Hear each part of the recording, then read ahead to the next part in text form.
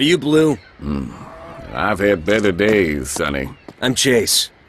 I heard you might know about Rex Fury. Rex Fury. That man owes me. For helping him escape? Why would I do that? Rex was my biggest customer until he disappeared, owing me for a hot tub. You know how difficult it is to smuggle one of them in? Hmm, Speaking of which, careful with Haywood's new car, hmm? Sure, Blue! So how did Rex escape?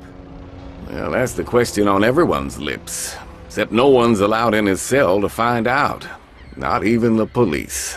That's not right. But we both want to see Rex back in here. So I've got an idea. Get some gear from the cupboard in my cell. Then I'll call you with more information on this. That's a croissant. We aren't allowed phones in here. The phone's inside it. Put your number in. Oh! there. I hope this plan of yours works, Blue. Uh, are you free, man? No. No, I am not Freeman. His lawyers might be watching. What's the matter, Haywood? You don't like your new car? Car?